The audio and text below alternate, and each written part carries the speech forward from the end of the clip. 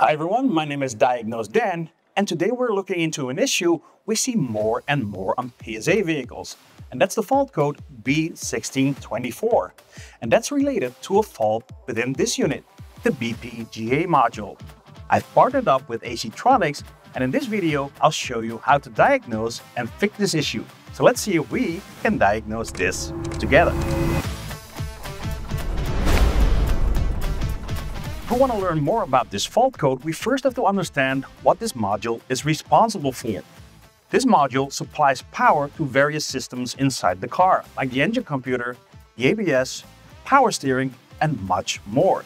It turns on those systems when the car is active and shuts them down when the car goes to sleep, usually a few minutes after the car is locked.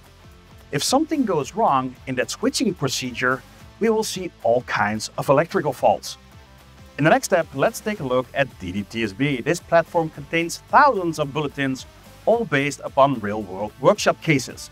It's a great way to quickly find out what's going on and to see how others have solved the same issue.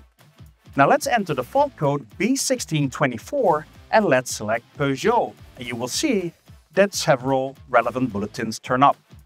As you can read here, the engine might not crank at all, even though everything else seems fine you could find the battery drained overnight, or the keyless start system just not responding, no matter how many times you press the button.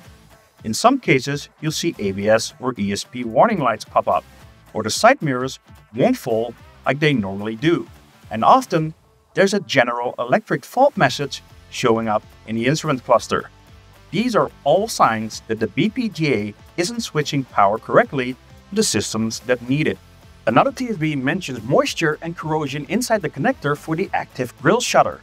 The active grille shutter and this module share the same LIN bus, so a fault in one system can affect the others. Inside this module, there's an internal relay.